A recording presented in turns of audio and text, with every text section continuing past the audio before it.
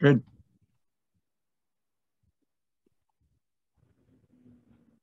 All right. Can you hear me and see everything?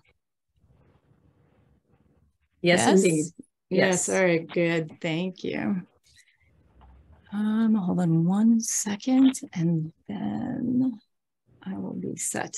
All right. So thank you so much for having me. I'm pleased to be included as a presenter at NCCP's annual conference. Um, I'm going to be discussing Cornell's uh, Cultural Property Protection Conference that took place in February of this year, and from which we have drawn articles for an upcoming special issue of Preservation Education and Research. Um, as a quick overview, I'm going to be discussing the conference, how it was funded, its intended purpose, those that were involved in planning the event, as well as the principal themes that guided various segments. I'll also summarize the conference topics addressed and key presentations, including highlighting those papers selected for inclusion in preservation, education, and research. I'll close with some important insights uh, drawn from our presenters, attendees, and discussants, including um, the challenges facing practitioners, educators, as well as Indigenous community leaders and keepers of traditional knowledge working to protect cultural heritage and ancestral places. Um, I wanted to start by situating cultural property protection in current events to make it a little bit more tangible and less of an abstract idea. Um, I'm going to be building on what Professor Tomlin has already presented regarding the historical and legal context of CPP. Um, cultural property or cultural heritage is meaningful, is a meaningful part of all communities. It involves not just tangible cultural heritage, such as religious buildings and sites, archaeological sites, or important architecture, monuments or artwork or libraries and artifacts, but it also includes natural landscapes, um, what we call in the US traditional cultural properties, as well as intangible cultural heritage among other forms. It is intrinsically tied to identity, be it individual, community, or national and ethnic identity, and has been revered and protected, destroyed or vandalized, and interpreted or reinterpreted in various instances as a way of validating or negating individual and community membership or to support historical and cultural narratives. It is not then a stagnant, lifeless thing, but is dynamic, living, and incredibly important to the way that we see and understand ourselves and our place in the world. So um, the first image on the, on the left shows the destruction of a mosque in Syria in 2013. On the far right, you'll see the blue shield emblem marking cultural property as recommended in the 1954 Hague Convention that Professor Tomlin talked about. It's seen here in Lebanon um, in 2007. At the top of the slide is a quote from the preamble of the Hague Convention stating that any damage to cultural property, irrespective of the people it belongs to, is a damage to the cultural heritage of all humanity, because even because every people contributes to the world's culture. The image in the center comes from The Economist. It's showing a monument in, in Ukraine protected by sandbags.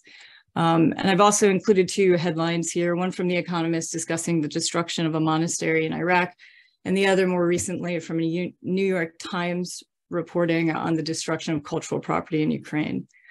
These are, of course, international examples and mostly examples of cultural property impacted by human conflict. But cultural property protection also addresses the impacts of natural disasters, particularly important considering the effects of climate change. So in this slide, I've included some examples of cultural property impacted by natural disasters. Um, those responsible for cultural property protection also consider the impacts of, for example, flooding and earthquakes or wildfires and so on. Um, in planning and preparedness, but also in response, so containing and mitigating loss, for example, and in recovery efforts. The image on the left shows damage to St. Catherine's Church in Croatia on December 28, 2020, after a magnitude 5 earthquake. The image on the top right shows rubble from the January 12, 2010 earthquake that struck Haiti and killed over 250,000 people. The quote is from a former Minister of Culture and Communications and manager of the Haiti Cultural Recovery Project, in which he says, after trying to save people's lives, the next thing to save is people's reason for living. The image on the bottom right shows a man pumping out water from the flooded crypt of St. Mark's Basilica in Venice during the flooding in 2019. Um, and I've also included two headlines. Um, the one on the right is from National Geographic, and it's discussing uh, how pollution is threatening some of the world's oldest rock carvings in Australia This is from um, April of this year.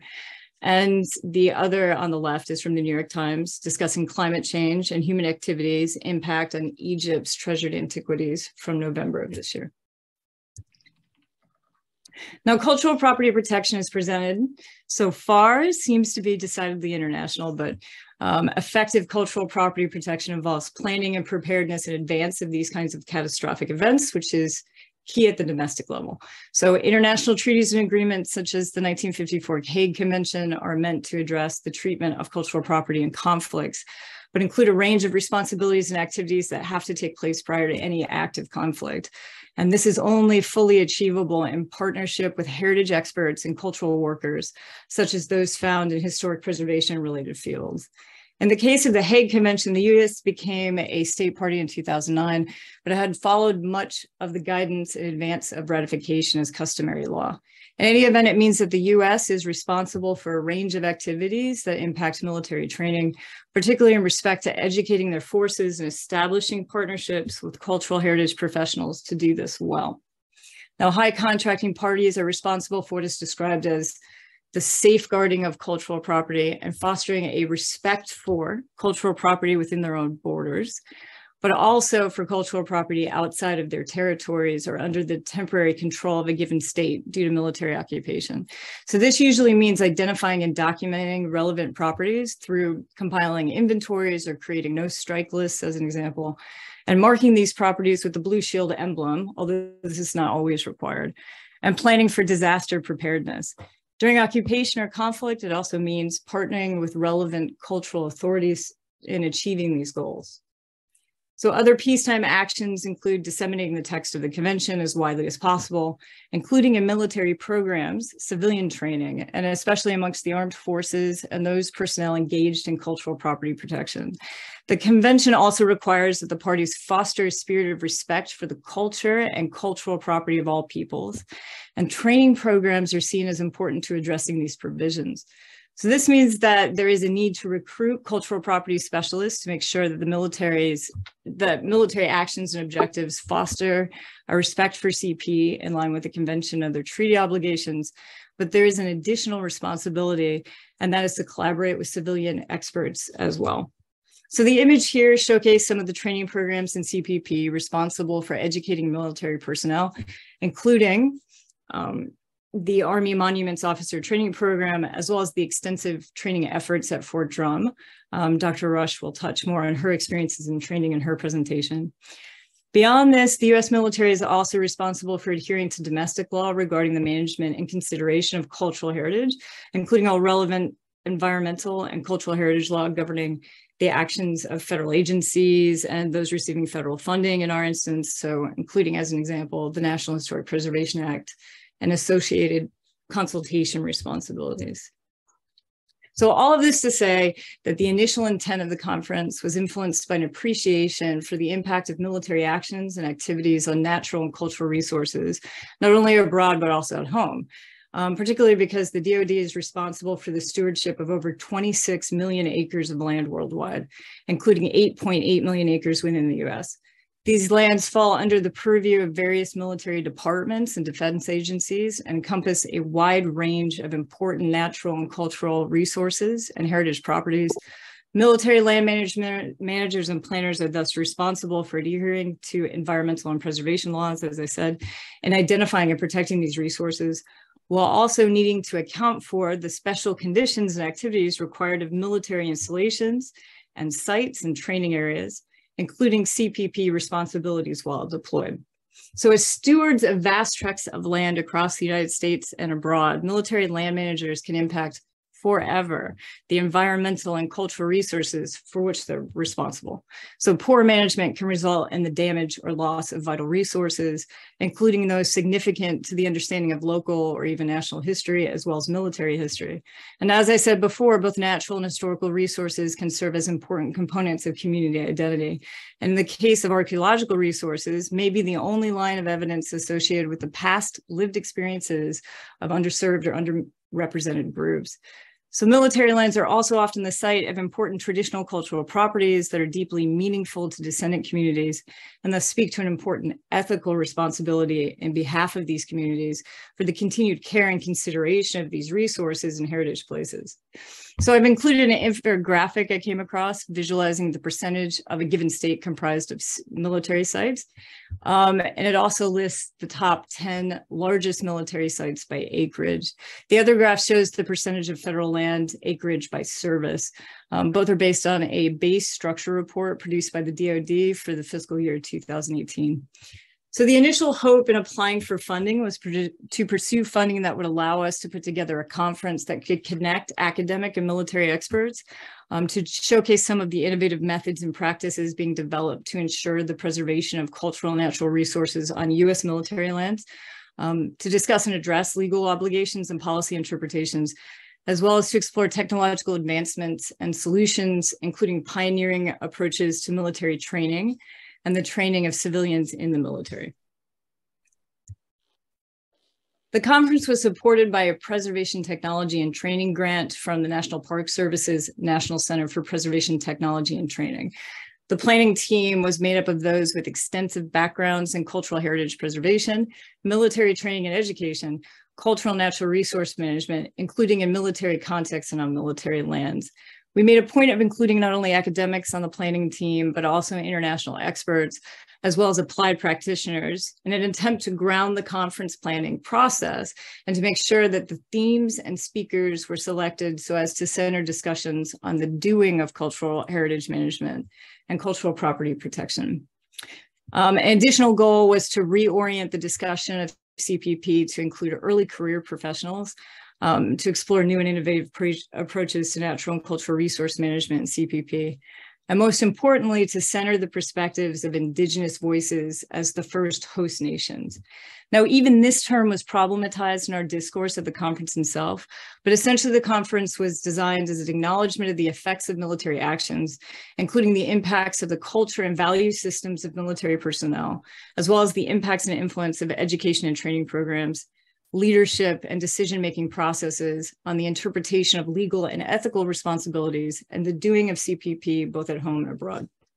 Discussions addressed in various ways these complex contexts but attendees and speakers also acknowledged that these complexities could be seen in how Indigenous leaders and educators and keepers of traditional knowledge were considered or not in the management of ancestral lands and important heritage places under military control.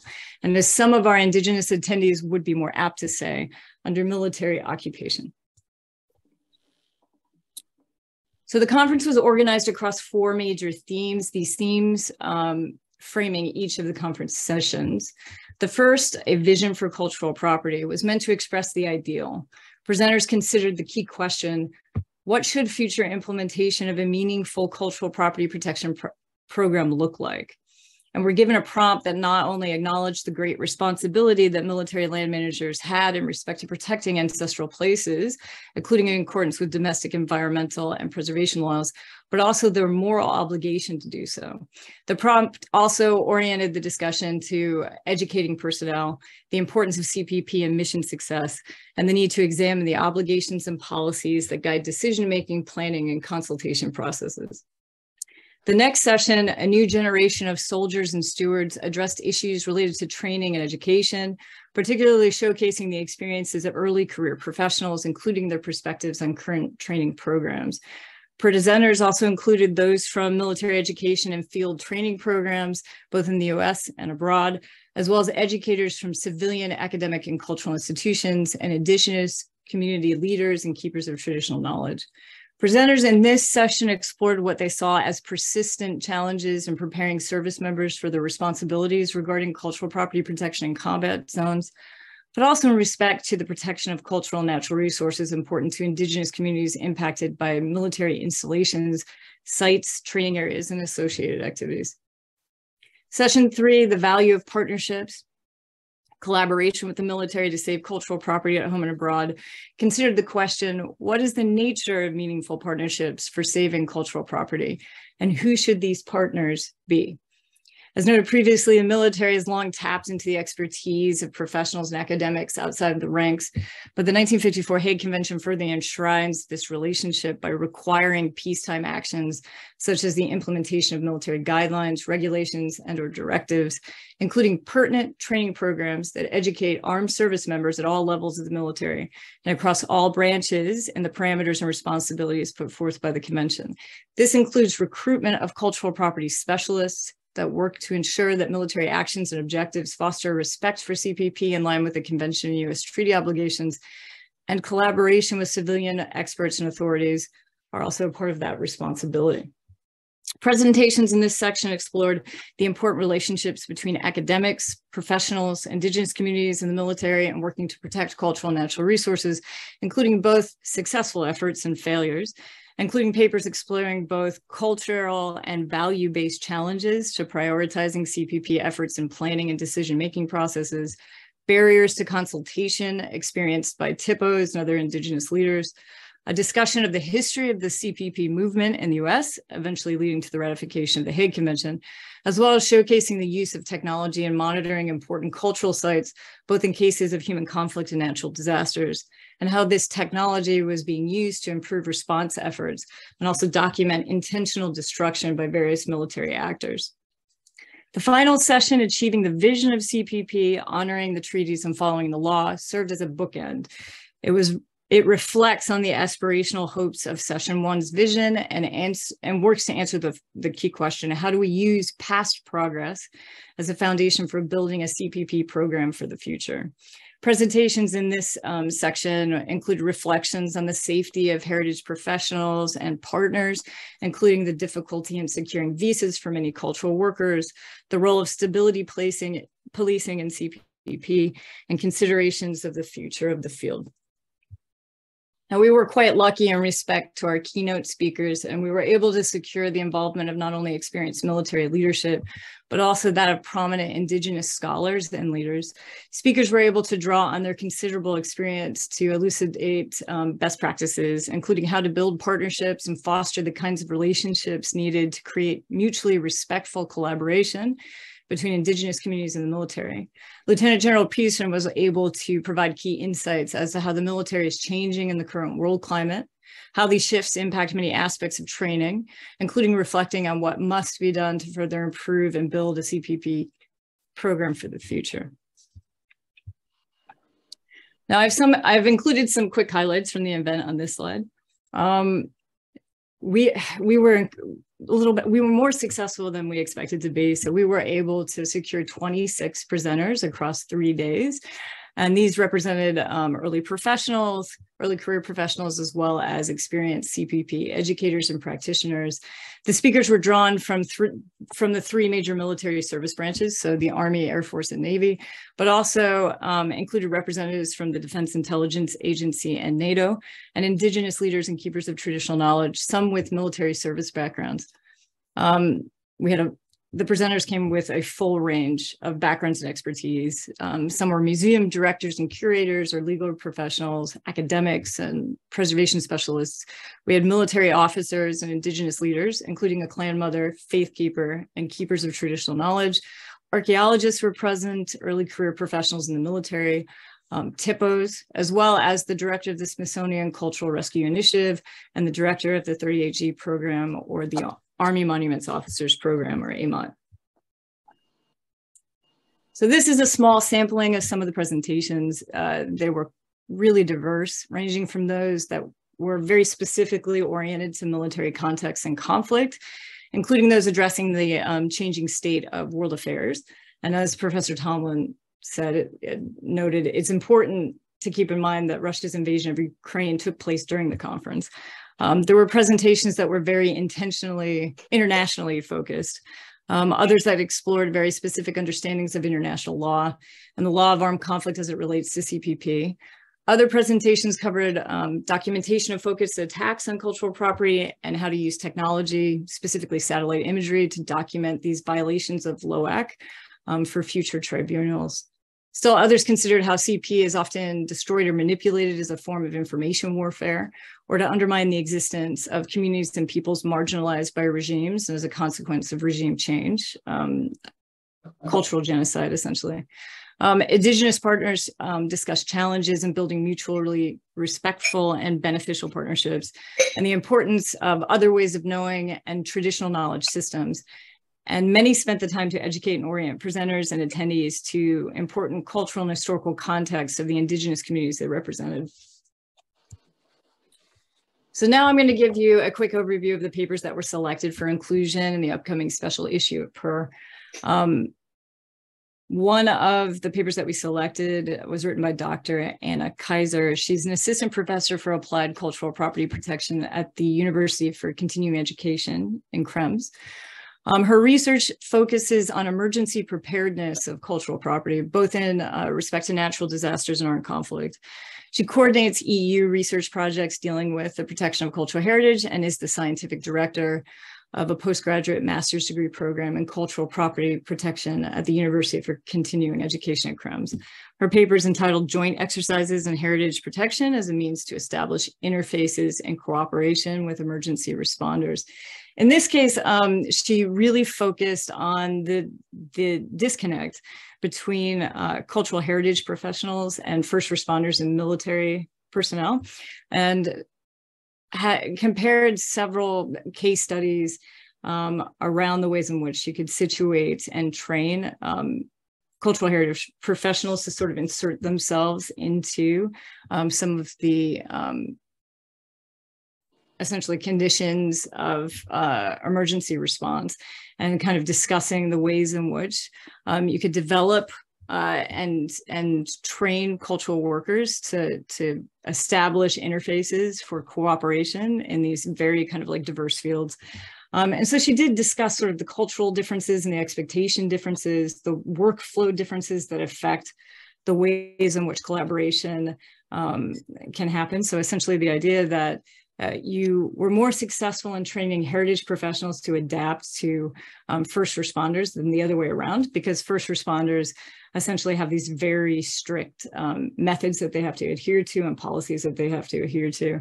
And the success that she had both in like tabletop um, kinds of uh, exercises as well as the ones that were field training um, and so it's incredibly interesting article and sort of dealing with the ways in which we think, um, the ways in which collaboration can happen, and the kinds of things that get in, in the way of really good collaboration between these um, very diverse sort of um, backgrounds that come to the table uh, in cultural property protection for natural disasters and human conflict. Now, the next article um, was written by uh, some of the staff of the Cultural Heritage Monitoring Lab, which I guess is essentially a partnership between the Virginia Museum of Natural History and the Smithsonian Cultural Rescue Initiative. The lab monitors cultural heritage sites that are likely or currently impacted by natural disasters and human conflicts through the use of various technologies, but um, also satellite imagery in real time. So it's housed at the Virginia Museum of Natural History, but it's supported by staff located at the museum and also uh, those that are working remotely and includes archaeologists and art historians, GIS experts, and other heritage practitioners. Um, This paper is entitled Partners as Stakeholders in Cultural Property Protection, Bridging the Intrinsic and Instrumental Value of Cultural Heritage. It explores the very pro various projects undertaken by the lab while examining the impacts of the distinctions between cultural heritage practitioners who perceive cultural property as having uh, intrinsic value and entities that engage in cultural property protection for its instrumental value, including um, ways to adjust reporting methods and best practices when working with entities with divergent priorities and resources, um, including providing principles for um, forging effective partnerships that bridge the gap between these communities. Um, it also does a really good job of um, showing the fantastic impacts of satellite imagery um, and working between those that are monitoring satellite imagery and those that are kind of working in the field. Um, so it's a great technology um, and methods paper as well. Our next paper is by Dr. Dan Brian Daniels, who's the Director of Research and Programs at Penn Cultural Heritage Center at the University of Pennsylvania. Um, he's the He's also the Vice President, U.S. Committee of the Blue Shield and the Vice President for Cultural Heritage for the Archaeological Institute of America. Um, his paper is protecting heritage professionals as part of cultural property protection lessons learned from syria iraq and afghanistan. His paper explores the dangers facing cultural workers who themselves become military targets um, by conflict actors. And the fact that this trend of targeting cultural workers seems to be increasing rather than decreasing. In this paper he discusses some of his personal experiences of working with cultural workers particularly framed by syria iraq and afghanistan including the difficulty in securing the safety of colleagues in conflict zones and proposing some ways in which the heritage community can help secure the safety of these partners. The next paper is entitled The Importance of Cultural Property Protection for the Army and the DoD. Um, and this was written by Lieutenant General Erik Peterson, Deputy Chief of Staff G8 for the Army. He is um, He's held a variety of key command, staff, and leadership positions at the headquarters department of the Army, division and brigade levels, including four tours with the 160th Special Operations Aviation Regiment Airborne. In 2014, he became the first recipient of the U.S. Committee of the Blue Shield Award for meritorious military service and the protection of cultural property.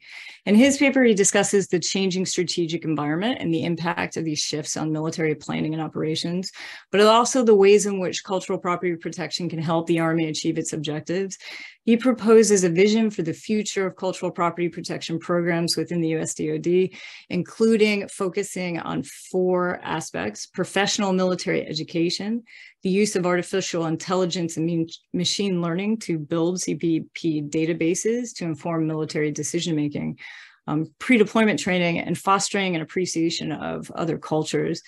Um, he essentially says that through its deliberate consideration, the deliberate consideration of CPP into military operations, CPP, he believes, can contribute to advancing U.S. national security interests, including aiding in conflict prevention and resolution. Um, the last paper is by Turner Hunt, um, the THPO for the Muscogee Creek um, Nation and, formal, and former civil affairs specialist for the U.S. Army Reserve. His paper is entitled Building Rapport and the Foundation of Good Partnerships. Um, the Muscogee Creek Nation approach to protecting cultural sites in partnership with DoD components. Um, in this paper, he essentially explores some of the um, challenges that he's faced in ensuring um, that cultural property is protected, um, particularly in light of the fact uh, that uh, in the particularly in light of tribal nations that have been removed from their ancestral lands and relocated in the mid 19th century at the bequest of Andrew Jackson. So his article describes how the nation seeks to ensure cultural property protection by utilizing policy-driven consultation as rapport building opportunities and developing good working relationships with the Department of Defense components. Okay, so there were some key issues, insights, and takeaways that were identified by the presenters and the attendees. Um, these included that there is a rift between academic heritage professionals in the military or civilian experts working with the military, and a need to create stronger partnerships and reach back support, including fostering a network of civilian experts and cultural workers to help the military meet their ethical and legal responsibilities in respect to CPP. Um, individuals do matter and make a difference in how successful CPP efforts are in practice. Um, institutional values and perceived priorities have a great impact, but CPP efforts are also impacted by individuals in positions of power, including in how laws and policies are interpreted and applied, and whether or not CPP is prioritized. And this can greatly uh, impact how. Yeah, uh, can you give me like five minutes? I was just putting together stuff for meeting um, so I'm just piling boxes. Um, can you give me just a few minutes? Okay. Sorry, I'm I'm hearing someone else. Okay. So uh, sure, yeah, and just call you on your. Uh, I'll just call you. Um, your is your cell phone easiest? Okay. Okay, I'll do that in like five or ten minutes. All right. So sorry, I'm hearing somebody else coming in. Anyway, so where was where was I here? Yes. So um, essentially how laws and policies are interpreted and applied and whether or not CPP is prioritized, this can greatly impact how effective CPP efforts are in real world context. The other issue that came up was the compartmentalization of CPP efforts, such as in respect to training programs, best practices are exemplified in institutional knowledge, um, which is problematic across the military. It is greatly impacted by frequent personnel change.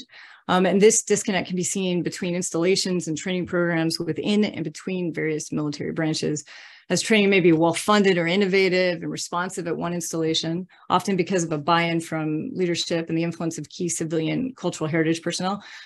But this program isn't necessarily available everywhere, as these activities, best practices, and expertise are often siloed. The conference also brought attention to variability in the experiences of descendant communities when working with the military as partners. So collaboration, consultation experiences were not always meaningful or mutually respective, respectful as some military personnel charged with consultation and developing partnerships might not be well informed in how to identify and maintain contact with important partners and stakeholders.